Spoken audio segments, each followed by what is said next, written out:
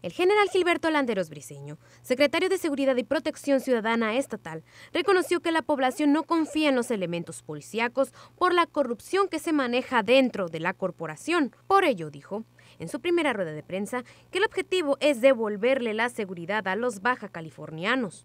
Entre los ciudadanos y las instituciones que llevan a cabo las acciones para que haya esa seguridad.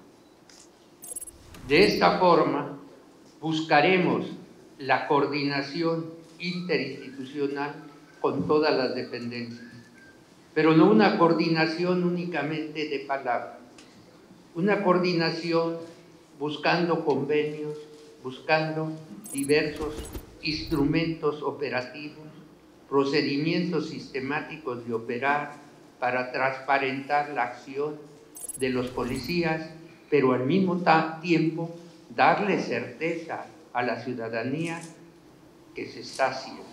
En ese sentido, Landeros Briceño aseguró que el plan es certificar a todos los elementos de la corporación. A veces juzgamos a nuestros policías que no actúan bien y a veces la corrupción se da entre las dos personas. Entonces se van a buscar mecanismos que yo los he implementado en otros lugares para lograr esa transparencia en la actuación.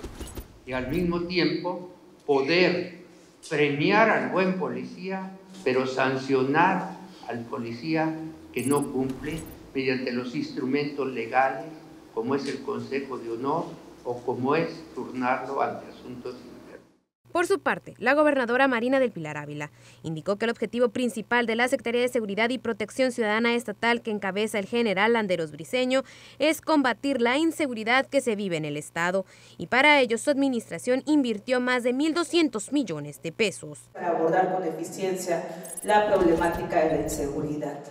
Aquí todas las alternativas son analizadas y es por ello que nos hemos planteado abordar esta problemática desde tres ejes fundamentales. La primera de ellas es la profesionalización y la certificación policial, con un señalado componente de investigación para la prevención. Insistimos en el tema de la investigación y de la inteligencia como un eje fundamental. Segundo, la procuración y la administración de justicia como un binomio contra la impunidad es muy importante lograr la judicialización. Y por supuesto, eh, el más importante, la prevención del delito. Con imágenes de Jesús González, para Primer Sistema Noticias reportó Carolina Vázquez.